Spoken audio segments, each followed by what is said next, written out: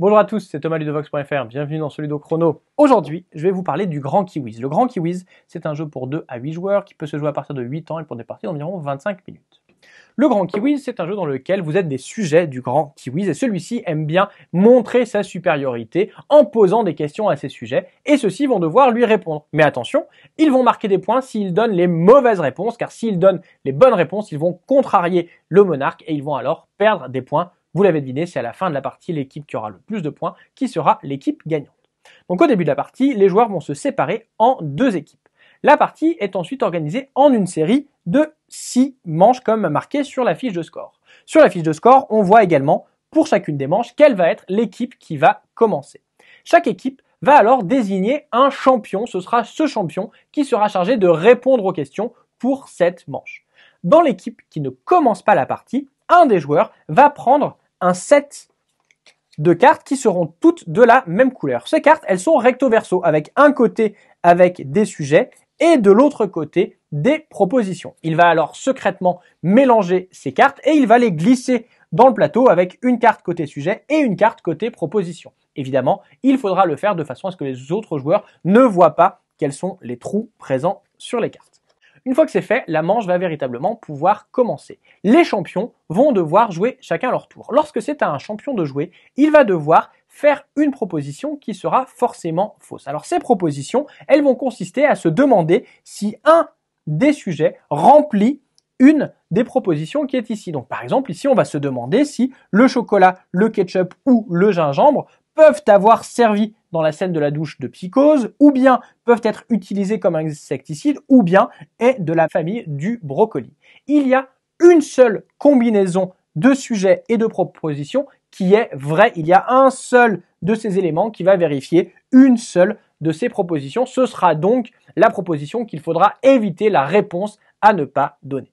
Quand c'est donc au tour du premier champion, eh bien, il va donc devoir donner une mauvaise réponse. Par exemple, moi, eh bien, je suis persuadé que le ketchup n'est pas de la famille du brocoli. Dans ce cas-là, je vais regarder le pion qui se trouve à l'intersection des deux propositions et je vais l'enlever.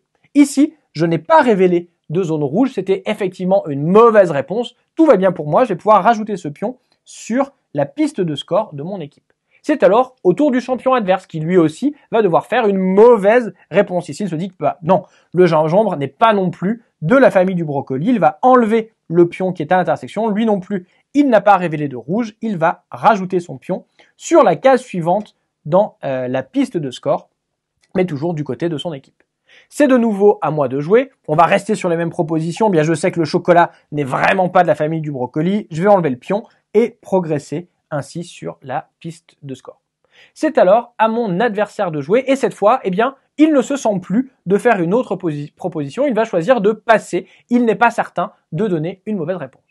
Je vais donc pouvoir continuer à jouer jusqu'à passer moi-même. Alors si jamais, moi aussi, j'ai des interrogations, je vais pouvoir demander de l'aide à mes coéquipiers. Je peux demander, bien, est-ce que quelqu'un peut m'aider? Mes coéquipiers vont alors me dire éventuellement, oui, moi par exemple, je peux t'aider. Si je choisis d'avoir son aide, eh bien dans ce cas-là, je vais cocher une case est ici et mon partenaire pourra donc me donner une indication. Si jamais j'ai coché toutes les cases, je ne pourrai plus faire ça, sachant qu'à la fin de la partie, toute case qui n'a pas été cochée rapportera un point à mon équipe.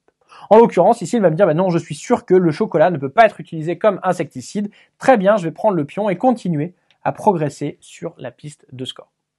La manche peut se terminer de deux façons différentes. Soit parce que je choisis moi aussi de passer. Dans ce cas-là, eh bien, mon équipe marquera 4 points et l'équipe adverse marquera 2 points. À l'inverse, si jamais je continue et que malheureusement, je me dis que non, il ne peut pas y avoir du chocolat dans la scène euh, de Psycho, c'était probablement le ketchup. Je me suis trompé, il y a du chocolat qui a été utilisé dans la scène de la douche de Hitchcock. J'ai donné une bonne réponse. Dans ce cas-là, eh la manche s'arrête également, mais au lieu de marquer les points qui sont ici, mon équipe va marquer 3 points de pénalité et l'équipe adverse marquera ici les 2 dans tous les cas, la manche s'arrête. On va remettre les pions sur leurs emplacements. On va changer les cartes qui sont ici et commencer une nouvelle manche. On continue ainsi jusqu'à ce que les six manches aient été jouées. Dans ce cas-là, la partie s'arrête. Les équipes vont faire le total des points qu'elles ont marqués pendant la partie. C'est l'équipe qui a le total le plus élevé, qui est alors l'équipe gagnante.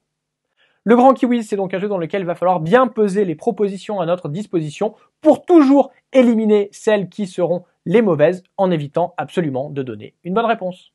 Voilà, vous savez presque tout sur le grand Kiwiz. Maintenant, à vous de jouer et à bientôt sur X.fr.